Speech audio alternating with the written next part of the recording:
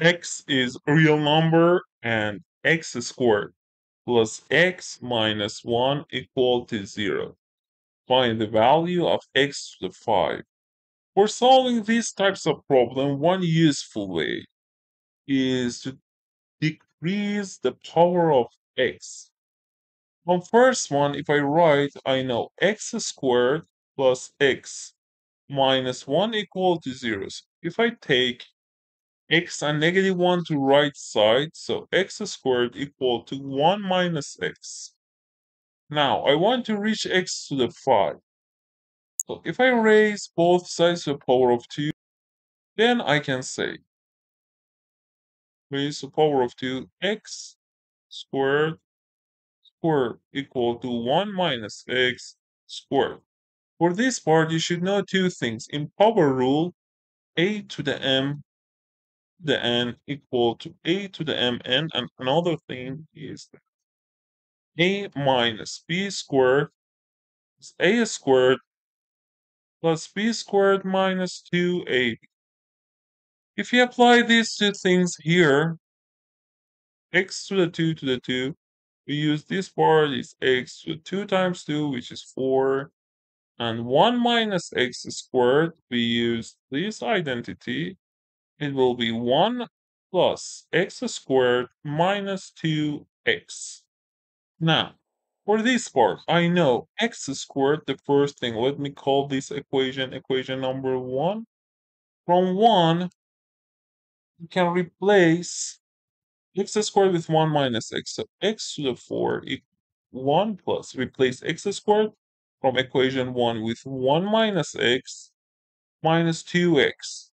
1 plus 2, 1 plus 1 is 2, minus x minus 2x minus 3x. Now, I've reached x to the 4. I want to reach x to the 5 here, so I should multiply it by x. Multiply by x. x to the 5, y, because again, by power rule, a to the m times a to the n equal to a to the m plus n. Here, x times x to the 4, the power here is 1. 1 plus 4 is 5. Equal to, we multiply also this part to x. x times 2 minus 3x. If we expand, it will be 2x minus 3x squared. Again, here I have x squared. So if I use equation number 1 in this part, so replace x squared from equation number 1 with 1 minus x. I can say x to the 5 equal to 2x minus 3 times x squared is 1 minus x. So 2x minus 3 times 1 minus 3 minus 3 times negative x plus 3x. So we can conclude x to the 5 equal to 2x plus 3x, 5x minus 3. Now it's the time to calculate x equal to what? From this part, I want to use quadratic formula. First, let me tell you quadratic formula is what? If ax squared plus bx plus c equal to 0 and you want to find x, x equal to negative b plus minus b squared minus 4ac, you should memorize this formula over all over 2a.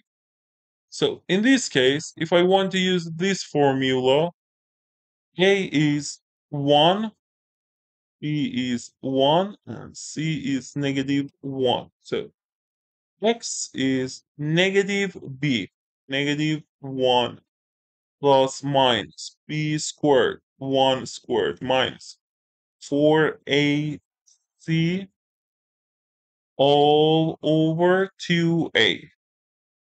So if I rewrite this, it will be negative 1 plus minus square root of 1 minus mi minus 4 minus 1 plus 4 plus 1 plus, it will be 5 over 2 times 1, which is 2.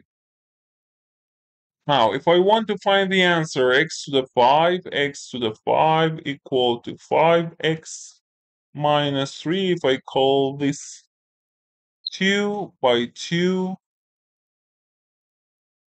I can conclude it is 5 times negative 1 plus minus root 5 all over 2 minus 3. If I use common denominator 2, it will be negative 5 plus minus 5 root 5 2 times negative 3 minus 6. And if we simplify, it will be negative 5, negative 6, negative 11 plus minus 5 root 5 all over 2. So our last answer is this negative 11 plus minus 5 root 5 over 2. Thanks for watching this video. Please consider subscribing, turning on notification, like my videos. If you have question, you can comment right below this video. Thank you. Bye.